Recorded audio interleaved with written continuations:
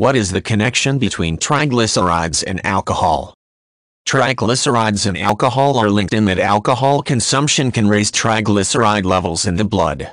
Even small amounts of alcohol can cause an increase in blood lipids, or fats, which is why doctors recommend limiting alcohol consumption for people with high triglyceride levels.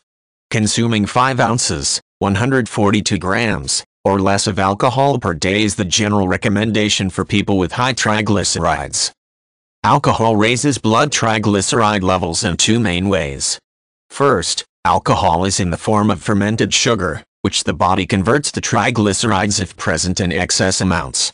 If the body is unable to use sugar for energy right away, the sugar is converted to fat and stored in fat cells for later use. People with high triglycerides are also advised to limit sugar intake, because it is converted into triglycerides in the same way as alcohol sugar. Alcohol also raises blood triglyceride levels, because alcohol increases the liver's production of fatty acids, or triglycerides, by inhibiting the liver enzyme that breaks down triglycerides. Inhibiting this enzyme means excess production of triglycerides will occur. The excess triglycerides are then released into the bloodstream.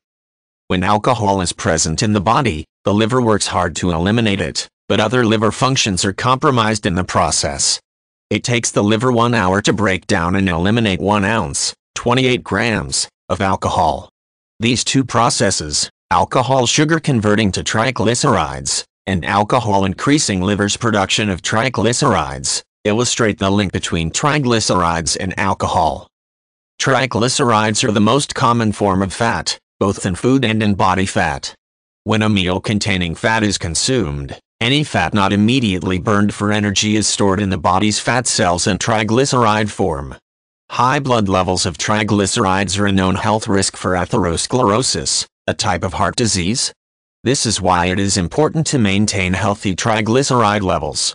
Knowing the relationship between triglycerides and alcohol, alcohol consumption can increase triglyceride levels, can help you make the right decisions when it comes to heart health.